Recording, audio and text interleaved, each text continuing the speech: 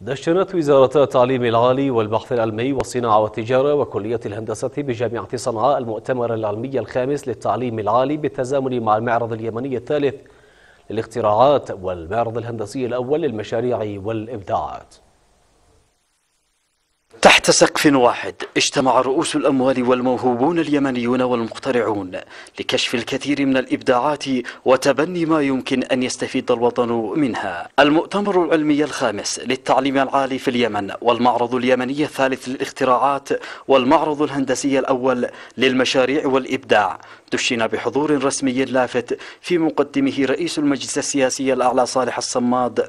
وسبعة من وزراء حكومة الإنقاذ الوطني تأكيدا على أهمية المؤتمر في التعريف بالمخترعين والمبدعين وأهمية تبني مبتكراتهم. ويشرفنا أن نكون حاضرين هذا اليوم وهذه الفعالية التي رأينا في بداية افتتاحنا لها ما يزرق الصدور من إبداعات من قبل الإخوة والأخوات المبدعين في المعارض التي استعرضناها في بداية اللقاء.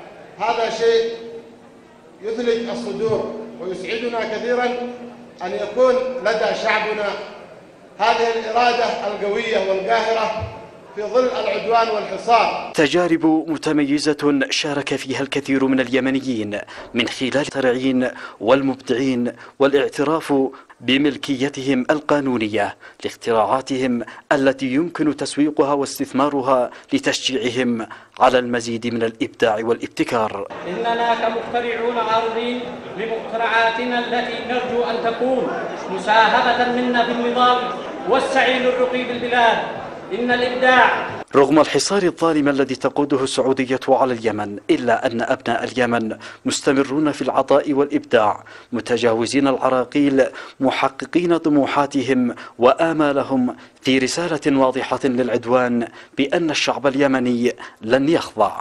اليوم وبعد 754 يوم من العدوان نحتفل بهذه الفعالية الهامة كدلالة واضحة على صمود شعبنا وعلى عدم استكانته والاستسلام ففي الوقت الذي يفكر هذا العدوان كيف يقتل وكيف يدمر هنا في شعبنا اليمني الصامد من يواجه العدوان في الجبهات وهنا من يعمل على استمرار الحياة والبحث والاختراع والتفكير في البناء والإعمار والتنمية. وزارة التجارة والصناعة أكدت دورها في مواجهة العدوان ودعمها وتشجيعها للمبدعين والمخترعين وتنمية قدراتهم التي تتعلق بتنمية الاقتصاد الوطني. نحن في وزارة الصناعة والتجارة وبمساندة من حكومة الإنقاذ الوطني والمجلس السياسي الأعلى نعلن عن تشكيل الهيئة الوطنية لرعاية وتنمية الاختراعات وتنفيذها وتشجيع المخترعين.